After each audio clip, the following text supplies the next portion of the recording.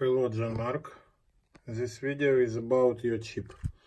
Look, this is your chip on my testing adapter.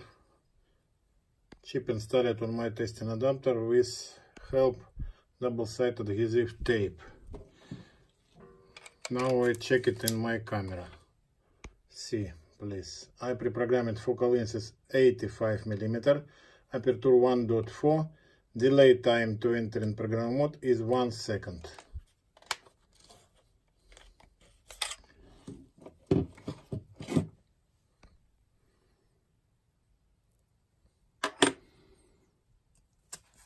This is your chip and special plate for installing chip on your lens.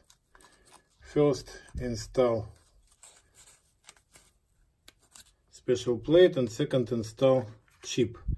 The first time installing chip on with help double-sided adhesive tape. This little piece of double-sided adhesive tape I send to you with chip.